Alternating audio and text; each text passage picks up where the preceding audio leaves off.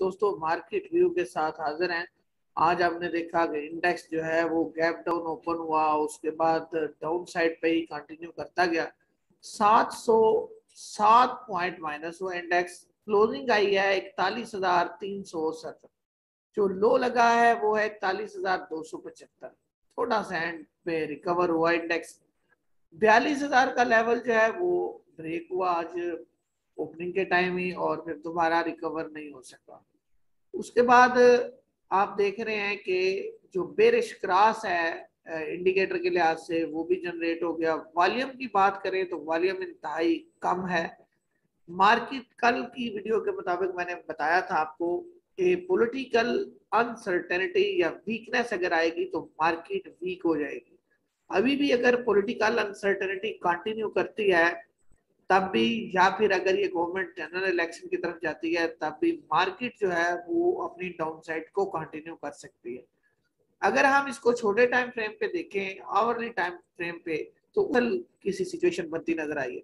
कल और आज को देखें तो ये, आज जो ये डिक्लाइन हमें नज़र आ रहा है फास्ट डिक्लाइन इसके बाद यहाँ पे आगे मार्केट ने एक स्पोर्ट सी लिया है और एक बुलिश क्रॉस सा बनता हुआ नज़र आ रहा है।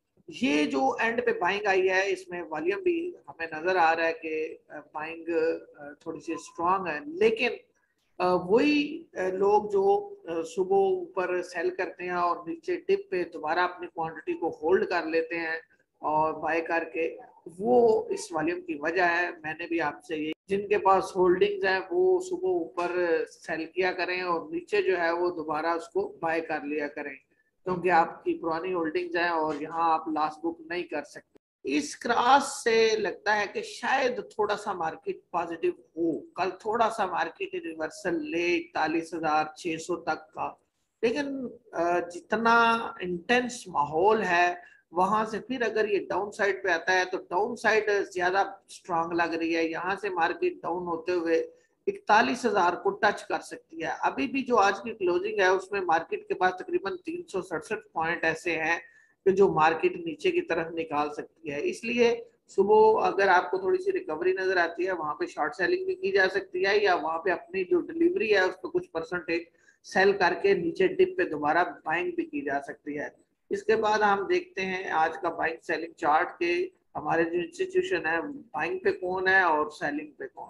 बाइंग सेलिंग डाटा जो है वो डायरेक्ट एनसीसीपीएल की वेबसाइट से आपके साथ शेयर किया जा रहा है। इसमें पहला फॉरेन इंडिविजुअल है, इन्होंने सैंतालीस डॉलर की सेलिंग की है।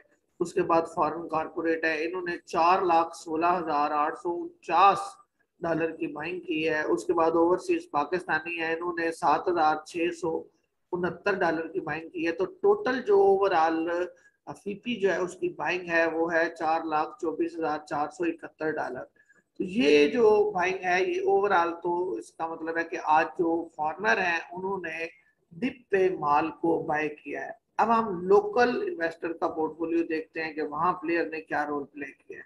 ये आपके सामने लोकल इन्वेस्टर का पोर्टफोलियो है, इसमें आप देखिए, सबसे पहले इंडिविजुअल हैं। इंडिविजुअल्स ने एक लाख अट्ठाईस हज़ार पाँच सौ चार डॉलर की सेलिंग की, उसके बाद कंपनीज़ हैं। कंपनीज़ ने चार लाख छियालीस हज़ार छह सौ पैंतीस डॉलर की बाइंग की है उसके बाद बैंक्स ने सेलिंग की है। चार लाख उनतालीस हज़ार सात सौ सात डॉलर की बैंक्स की सेलिंग है। उसके बाद एन की सेलिंग है। दो लाख उनतीस हज़ार पचहत्तर डॉलर की। सेलर्स की बात करते चले तो आगे जाके ब्रोकर्स की सेलिंग है। पाँच लाख छ हज़ार दो सौ बत्तीस डॉलर की। और नीचे जो है उसके इंश्योरेंस है, उन्होंने आज जो सेलिंग की है वो एक लाख पच्चीस हज़ार नौ सौ तो सत्रह डॉलर की। तो बाइंग की अगर बात करें तो बैंक बाइंग में एक तो आपने कंपनीज़ को देखा कि चार लाख छियालीस हज़ार छह सौ पैंतीस डॉलर की बाइंग ने की है। उसके बाद म्यूचुअल फंड्स की कुछ बाइंग है, दो लाख चौरासी हज़ार तीन सौ अठावन डॉलर की और अदर ऑर्गेनाइजेशन ने दो लाख तिहत्तर हज़ार नौ सौ इकहत्तर डॉलर की बाइंग की है। तो ओवरऑल जो बाइंग है, वो कंपनीज़ की है म्यूचुअल फंड्स की है अदर ऑर्गेनाइजेशन की है और फॉरेन इन्वेस्टर की है। हमारे यहाँ जो सेलिंग है, वो है इंडिविजुअल्स की और ब्रोकर्स की। ब्रोकर्स की आज पैनिक सेलिंग देखने में आई है। तो जब तक ब्रोकर इस तरह पैनिक सेलिंग करता है मार्केट जो है, इस पैनिक को कंटिन्यू कर सकती है। इसलिए आप जो है, वो सेलान स्ट्रेंथ और बायन डिप वाला काम क्या करें? अगर सुबह ही पैनिक नज़र आता है तो थोड़े पैनिक पे सेल करें और ज़्यादा पैनिक पे नीचे से उसको रिकवर कर लें जो होल्डिंग्स आपने रखी हुई है। जी तो दोस्तों, ये था मार्केट का व्यू मार्केट आप देखें कि डाउन साइड के चैनल को कंटिन्यू करते हुए वापस मुड़ गई है यहाँ से और बल्कि इस हाई को भी टच नहीं किया। उसके बाद अगर आप नीचे का लेवल देखते हैं तो मार्केट उस नीचे के लेवल को टच करती हुई यानी इकतालीस हज़ार या चालीस हज़ार नौ सौ को टच करती हुई नज़र आ रही है। ऐसी सूरत में डिप और सैलान स्ट्रेंथ स्ट्रेंथ इसमें ये होगी कि अगर मार्केट शुरू में सौ, सवा सौ माइनस है और बाद में पैनिक में जो है वो पाँच, छह सौ माइनस हो जाती है तो वो सौ जो माइनस है वो स्ट्रेंथ ही समझी जाएगी। ज़रूरी नहीं कि ये ग्रीन जोन आपको दिखाए।